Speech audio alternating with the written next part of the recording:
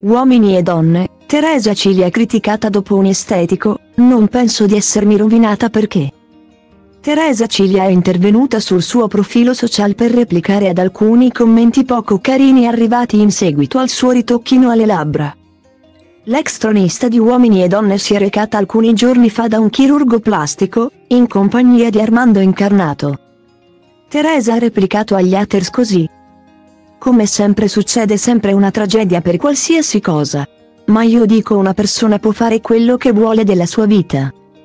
Del suo corpo, cioè può essere libera o deve chiedere il permesso a voi? Io certi commenti non li capisco.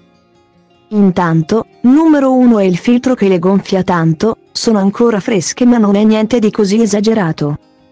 Di quello che pensate voi. Detto questo io vivo lo stesso, non mi faccio nessun tipo di problema. Era una cosa che ho voluto fare, non penso di essermi rovinata perché non mi sono stravolta. Cerchiamo di moderare il linguaggio. Un conto è esprimere il proprio parere in maniera educata. Un conto è offendere. Intanto ci sono i filtri e i filtri le gonfia, seconda cosa sono state fatte adesso.